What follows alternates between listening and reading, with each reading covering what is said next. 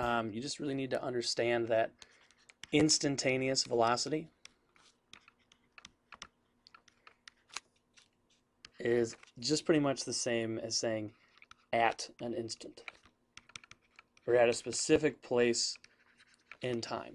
So a question that you might ask that would be asking basically what is the instantaneous velocity? I know that's not language that people use every day, but if you were in a car or um, going for a jog with somebody who maybe had like a fancy GPS watch or something, if you asked the question, how fast are we going?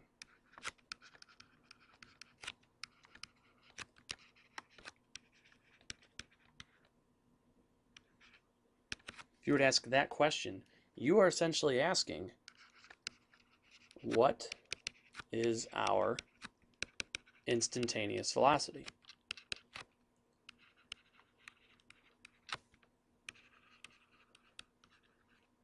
Now, you'd probably never use this second statement, but it's basically asking the same question. So anytime you look at something like a speedometer, so here's, here's your speedometer, and you know, here's 0, here's 60, here's 120. You know, if your speedometer is pointing right there, um, that's telling you how fast you are going at that exact instant.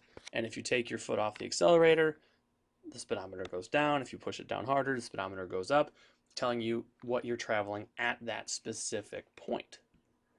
Um, so if we compare this to the previous lesson where we were talking about average velocity, your instantaneous velocity is kind of like taken like snapshot. Imagine that you could take a picture of something and ask the question, how fast were they going at that moment?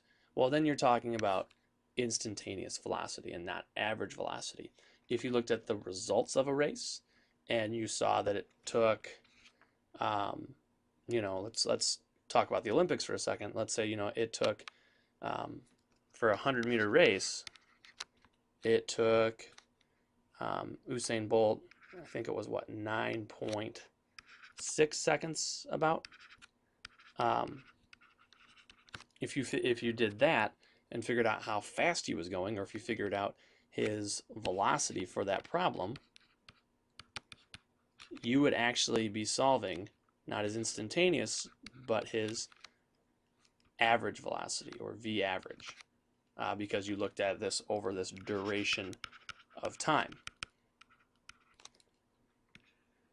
But if you looked at how fast he was going when he crossed the finish line, then you'd be looking at his instantaneous velocity. So when we go back and we look at that um, that situation from before, where you have where you're sitting in your car at a stoplight for a minute, and then you're driving here, and during that time, one minute has elapsed. Here you were going zero miles per hour, and here you're going 40 miles per hour.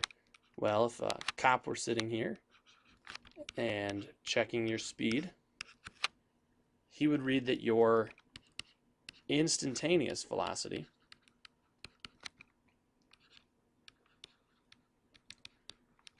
is 40 miles per hour. And therefore you would be speeding, most likely getting a ticket. And as we said before, your average velocity over that time, your V average, velocity average, would be 20 miles per hour. So here we have one instance where depending on how you're looking at the velocity, whether it's instantaneous or average, you get two different numbers. And it's important that we learn how to make that distinction. Um, so this is again just a basic introduction into how to uh, differentiate between instantaneous velocity and uh, average velocity. Um, and in the next couple videos, we're going to show you how to kind of work with problems um, that involve these two different concepts.